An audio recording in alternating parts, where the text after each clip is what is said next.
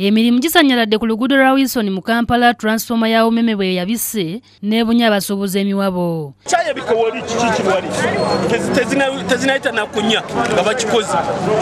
Kyayaka kusinga wono kuba kikyo kyayaka sawa kumi nezi bagayaavu bwe bajja okukasala bajja ne bakasala baagala sente. Buli kizimbe baba bakyagalako emitwalo kumi kumi kugazaako kigambibwa okuba nti transfoma eno babadde bagisimbayo bubi mu ttaka. Umeme ewayalingi gyeyakola nkyamu si wano. Naye eri kubanga amasanyalaze gakola shotsaketi entono ennyo.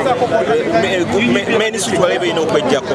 Poliisi y'abazimya moto etuuse bukubiire mu kifo kino n'abawumeme okugjako amasanyalaze okusobola okutaasa ebizimbe ebirinaanyeewo okukwata omuliro naddala ekya sunset akedi kubanga newogikwatako ebbugumu oliwulira ngaeyokya eyo amasanyalaze oba bagiyitaani emanyi kubaffe kikoze kitya tumanyi masanyalaze kibaluse ngaomuntu atuddeko ekibaluka nasooka oyo oba awunze simanyi senga gubadde kukwata wano kubanga gubaligenza okutuuka wano ngaenyumba zonna zimaze okujja buli kimu nga kiyidde moroka zibadde wano nga ssatu abantu ne bayambayamba ne basindika abamu ku basuubuzi beebazizza poliisi okutuuka mu budde.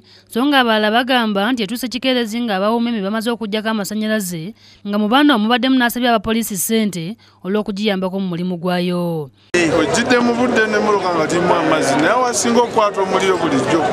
Moloka zijja nkalu poliisi olwabuse ekifo kino abavubuka bayoola kasasiro mu kibuga ne basumulula transfoma ne batandika okugijjamu waya ezibaddemu nga bagamba nti baagala kopa kubanga zibadde zonoonese tozanya na kopa abakozi b'ekibuga ate obudde bakola. Bebakola biba bikazire abamu ku babaddewo bakanze kubagaana kukwata mu transfoma nga balinga bafuuyira endiga omulere.